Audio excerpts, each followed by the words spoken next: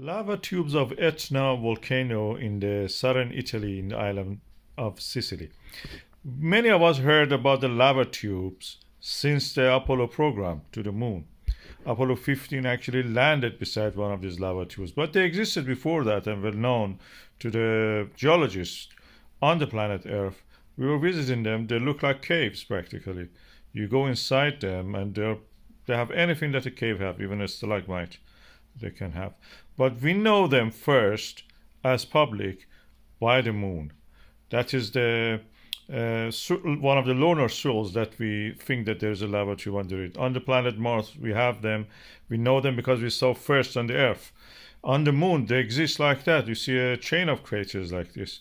We actually have landed beside one of them, as I told that Apollo 15 did that, beside the Hadley Rille. It is a lava tube. The roof of it has collapsed.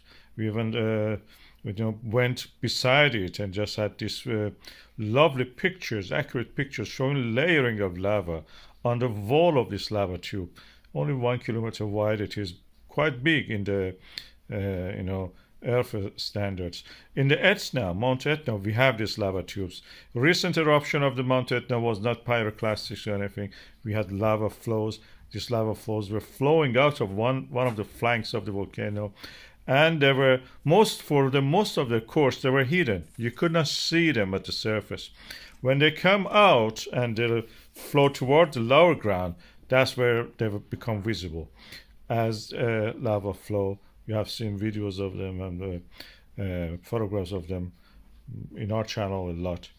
Uh, this is a sticky lava which on the top of it gets hardened and then gradually forms a crust like the crust which forms on milk or when you're boiling it or anything like that. As you can see here they're all the time coming out of the uh, uh, this uh, volcanic uh, uh, uh, eruption at the Etna. They form glass and that's the reason they when they fall you can see the crackling of the glass breaking as if. Is a familiar sound. Many of you may have the question that what is this sound we hear from the lava? This is how they form. Volcano erupts, creates a, a pathway for itself. The next eruption creates a, a crust over top of it, and that crust hardens. The lava continues underneath to flow because it's protected from the environment, forms lava tube.